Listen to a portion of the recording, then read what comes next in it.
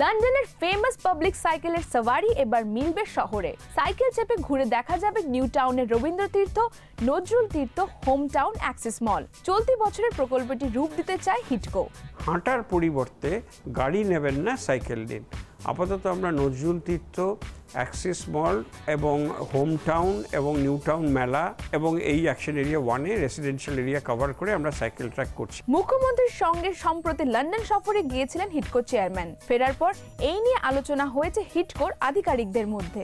New টাউনে cycle track করার কথা আমাদের মাস্টার প্ল্যানেই বলা আছে। সুতরাং আমরা প্রথম পর্যায়ে পাবলিক সাইকেল স্কিম লন্ডনে গিয়ে যেটা দেখে এসেছি সেটা করার চেষ্টা করছি। কোথাও ইউরোপের বিভিন্ন সিটিসে এটা খুব পপুলার হচ্ছে স্পেশালি মেট্রো স্টেশনে গিয়ে ওরা শেষ করে।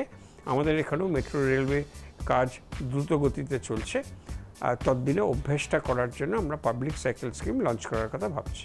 একটি স্ট্যান্ড থেকে সাইকেল নিয়ে অন্য জায়গায় স্ট্যান্ডে জমা দেওয়ার সুবিধাও থাকছে। কিছু পাবলিক সাইকেল থাকবে সেখানে মোবাইল ওয়ালেটের সাহায্যে সাইকেল ওখানে ভাড়া করতে পারেন এবং একটা জায়গা থেকে সাইকেল নিয়ে অন্য জায়গায় জমা দিতে পারেন।